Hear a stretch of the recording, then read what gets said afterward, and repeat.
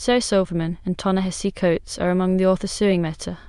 The authors allege that Meta illegally used their work to build its generative AI tools. Social media giant is not denying that it used the work or that it downloaded books from shadow libraries en masse, but insists that its behavior is shielded by the fair use doctrine. If Chhabria grants either motion, Chhabria and Shanmugam debated whether Taylor Swift would be harmed if her music was fed into an AI tool that created billions of robotic knockoffs. Chhabria questioned how this would impact less established songwriters. Chhabria said he was unconvinced the authors would be able to show the necessary evidence. When defendants invoke the fair use doctrine, the burden of proof shifts to them to demonstrate that their use of copyrighted works is legal. The Kadrey case could play a pivotal role in the outcomes of the ongoing legal battles over generative AI and copyright. Earlier this spring, a judge issued a partial summary judgment in the first AI copyright case. The outcome of the Kadrey case is being closely watched.